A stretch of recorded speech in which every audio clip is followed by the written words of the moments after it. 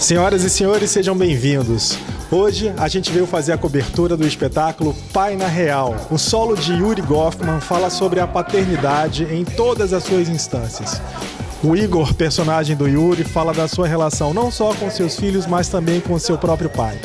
E na peça ele conta as aventuras e desventuras de ser pai. Fica ligado aí que a gente vai contar um pouco mais sobre esse espetáculo e conversar com as pessoas para saber o que foi que eles acharam da estreia do Yuri Goffman nesse solo Pai na Real.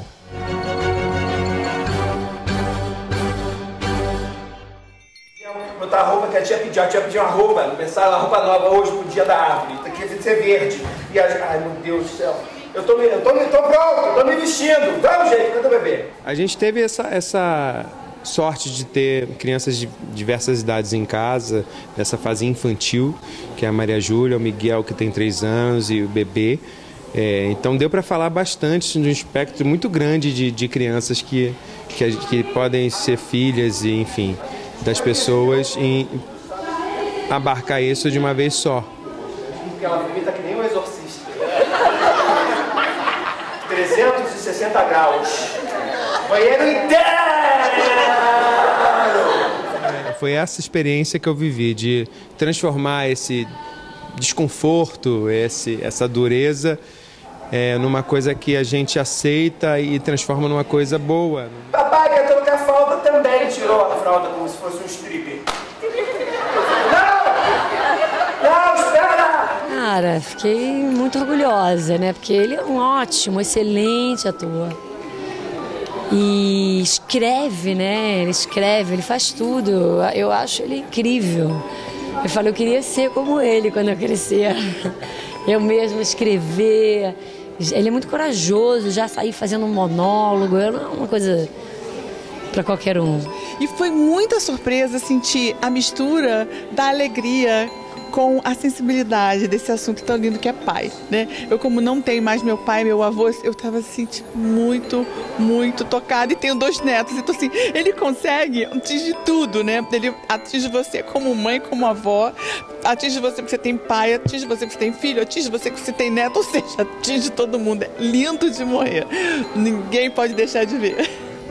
Eu achei super emocionante. Uma peça que tocou fundo no coração da gente, faz a gente lembrar de família.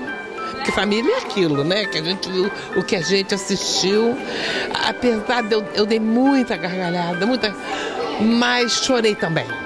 Chorei agora, porque eu sabia que ele ia chegar nessa história de pai que eu estava prevendo aquilo, que ele ia, eu fiquei prestando atenção, vai chegar no pai dele, como chegou e que foi emocionante, muito verdadeiro. Olha, maravilhoso. Isso não podia ficar só nesse espaço, isso tinha que ser mais divulgado. O menino está de parabéns, o ator está de parabéns. Filho de ator, como de atriz, né? Está de parabéns. Família Miojo. Em três anos estava pronta. A gente até brinca um pouco falando, gente, se a gente pegar e filmar a cena que está acontecendo, se a gente colocar isso no teatro, será que vão falar que é exagero, que é mentira? Porque assim, é, é coisa, são coisas inacreditáveis que acontecem dentro de casa. Miguel também, o Miguel mamou até os dois anos e três meses. Não era mais uma criança, era um piercing de mamilo humano. Trabalhar com o Yuri, com a Rosane, que a Rosane também eu não posso deixar de, de falar nela, que ela foi cine com a mão em tudo, né? Ela que levantou o espetáculo e assim, e quando ela me chamou, para mim foi um presente. Tirar a cólica do bebê é tipo, sei lá, achar sinal de celular. Peraí, deixa eu ver se para de chorar. Peraí. Achei maravilhoso, é um, ele faz uma, uma retrospectiva da vida da gente, da infância, o que a gente viveu. É emocionante, você ri bastante, você se emociona, tem tudo. Então, mas é uma. Você revive o seu pai, a sua história é muito linda, é muito emocionante, mexe muito com a gente. Isso, sabe? É uma história imperdível e divertidíssima. Emocionante, chorei, ri na peça, fiz tudo um pouco.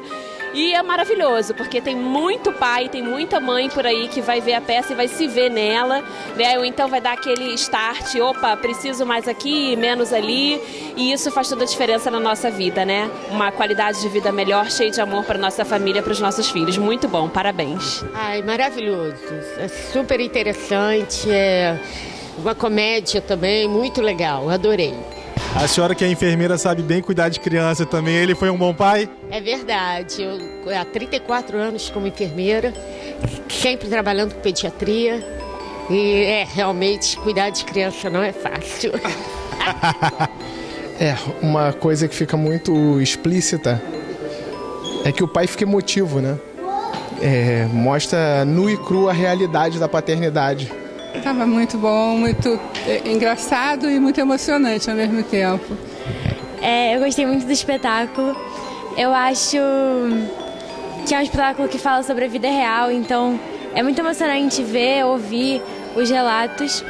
Nossa, achei assim demais, misturou muitas risadas com emoções. Teve até momentos assim que eu me emocionei, mesmo não sendo mãe, não tendo vivido essa experiência com filhos, mas assim, super recomendo.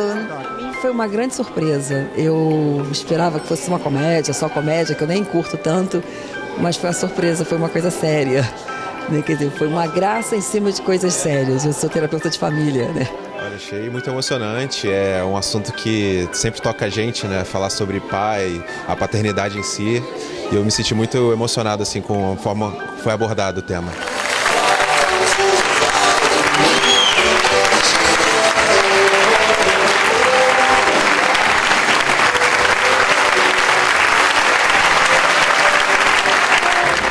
Essa foi a nossa cobertura do espetáculo Pai na Real. Tá aqui o Instagram deles para quem quiser acompanhar por onde vai estar o espetáculo e siga também a gente nas redes, mas principalmente vá ao teatro. Um beijo e até a próxima. Você deixa as crianças no colégio, dá um minuto, já tá na hora de buscar. O pai dela, a namorada dele, esteticista, exagerou um pouco na harmonização social. Eu vou fazer televisão, mãe, finalmente.